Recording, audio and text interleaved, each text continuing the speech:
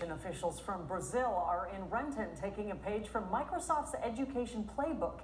They are visiting Renton Prep's middle and high schools. Those are Microsoft showcase schools, which means they have earned global recognition for using cutting edge technology to create innovative learning techniques.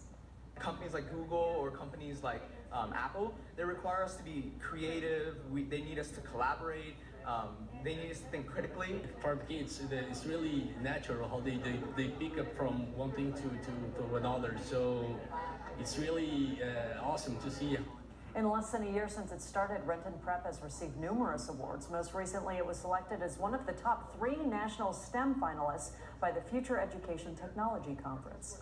Today